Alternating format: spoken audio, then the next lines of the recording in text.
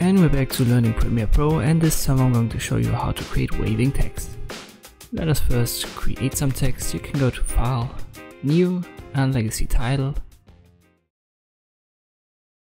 Let me rename that. The size, so width and height is important. I'll just use 1920 times 1080, which is the typical size for YouTube videos. This menu should pop up. I'll just type in some text. Let me use a different font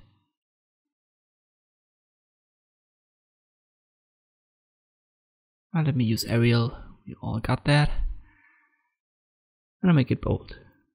Now let me increase the font size, we can do so over here. And I center that.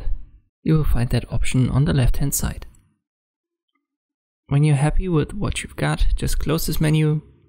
And now we've got this text element right here in the project menu, we can drag it in the timeline the background is transparent, so if I create a color matte element and put it below it, you can see that the black color is only there as it's by default the background color in Premiere Pro, but you can put this text element on top of footage, whatever you want to put below, the background is transparent.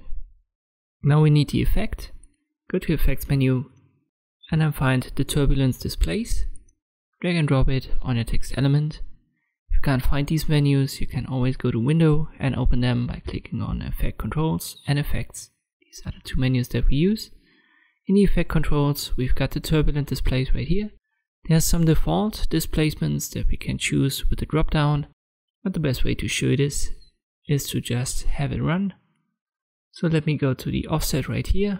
I click on this clock icon to create our first keyframe. Then I jump to the end and create the second one.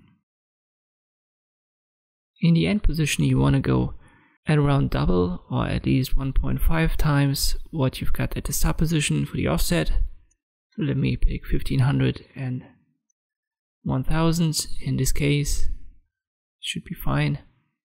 Uh, we can already see the effect happening. It's horizontal displacement. It's very slow. So maybe I'll size that down a little bit, maybe to 5 seconds or something.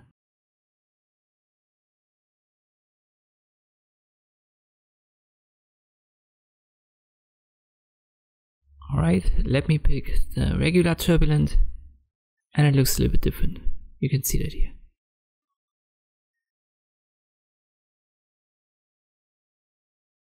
The amount and the size they also play a role.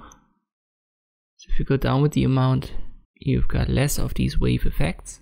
And with the size, you can affect more or less of the areas of the text. So these are the three values, amount, size, and the offset itself that you should play around with, but only apply the animation so the two keyframes for the offset. And this I can create this waving text effect in Premiere Pro. Thanks for watching and I'll see you next time.